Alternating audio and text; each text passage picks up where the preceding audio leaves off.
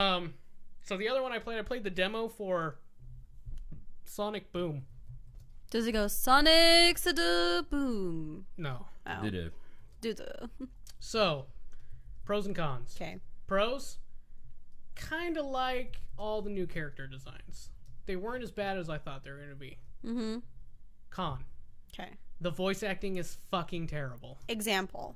Um, did you ever see the animated Legend of Zelda cartoon? Yes. With terrible voice acting as Oh Link? shit! Yeah, I forgot about that. Yeah, The only time Link's had a voice right is like that in the Yeah. Sega CD version. the I Sega think. CD version. Yeah. So the voice weird. acting level of Link is mm-hmm. what Sonic is like.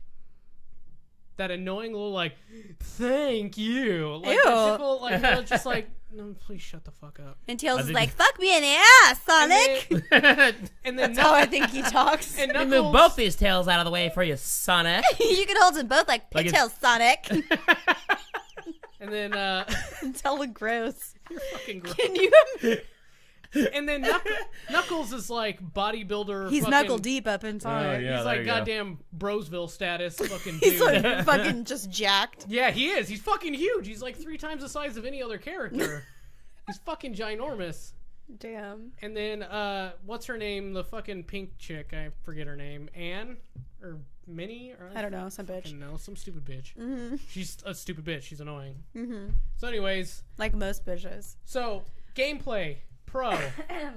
the fighting is actually pretty legit. Okay. So you have a strong and weak attack.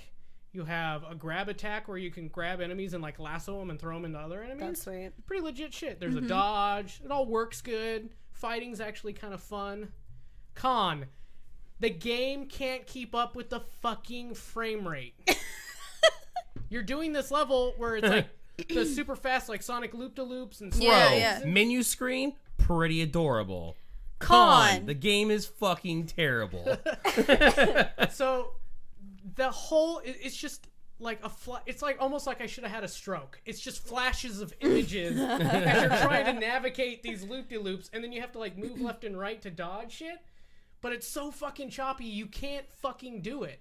So you end up just hitting these barriers all the time. And it's, It's a like beta, right? it's a demo, Oh, demo. but the way the demo works, I'm not willing to spend sixty dollars to hope they fixed all this fucked up shit. No, hell no. I can understand it if it was like a badass, badass game. Like if I was playing badass, badass game. like fucking Twice the badass. DM- mm-hmm. DMC. Like DMC's demo was a little weird. Right. It was kind of glitchy. It didn't feel finished.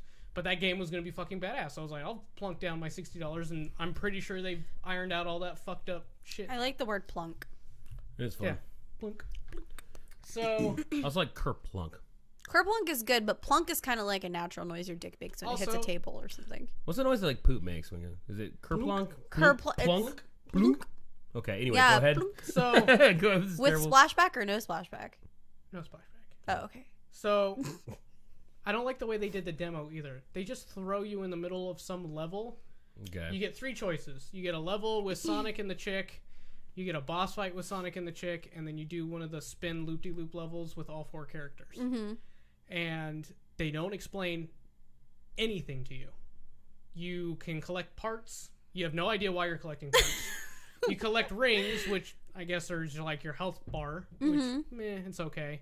You collect random item. You you like collect a crown, and then you collect like a fucking looks like a goddamn vacuum cleaner.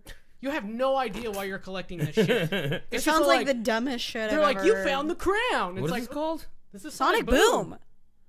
So God. and it pisses me off because Fuck Sonic. like so to, much. to learn the controls are like just look at the start menu and look at the control scheme but each character has different abilities and they don't explain what the different abilities can do so like i figured out through trial and error and dying a lot Mm-hmm. that only the chick can use her hammer to swing on these like pink rods and only sonic can jump between these like blue balls that are floating around and it just doesn't make any goddamn sense and then so i feel like if i went and bought the game and started at the beginning all the shit that I figured out on my own, they would take me through this long, drawn out tutorial. Mm-hmm. Yeah, and you don't want to do that because you already figured it out. It's like, bitch, I just learned all the shit on my own in the fucking demo, and now I gotta spend two goddamn hours learning all the shit I already taught myself, Mm-hmm. and won't let me move forward.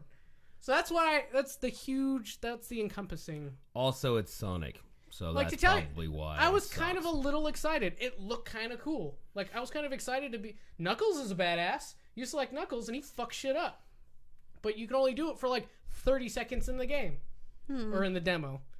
So like I was kind of excited to see where they were going with it. Like I said, character design wasn't that bad. Yeah. Level design was pretty cool.